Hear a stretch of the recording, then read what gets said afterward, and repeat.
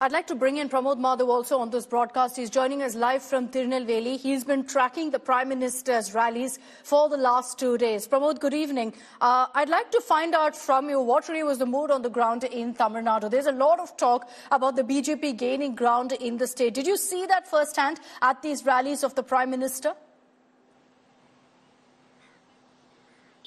It was quite a large crowd, Akshita, and it was quite charged up as well because they were there present to hear to what the Chief the Prime Minister was saying. And yesterday was a very important aspect because nearly after six months, the state president uh, of uh, BJP, Annamalai, went ahead and he concluded his uh, Enman Enmakkal Yatra. And this is where the Prime Minister, he also, in a way, was trying to recall how he brought the Ekta Yatra and he was trying to connect. In both the rallies, be it in the uh, Tirupur or uh, Tirunelveli, he was trying to as much as connect with the sentiments of Tamil people. In fact, he recalled the memories of MGR and Jayalalitha yesterday, and today mm. he actually spoke about how DMK and like what DMK is doing in the state. All these things happen. In fact, today morning when he was in Thoothukudi, he did not mention the name of uh, Kanimari, who was also present in the dais. So that way, the actual battle for the uh, election has started, Akshita. But one thing is very clear that the people who attended both his rallies in Tirupur and Tirunelveli were definitely there to listen to what the Prime Minister was going to say.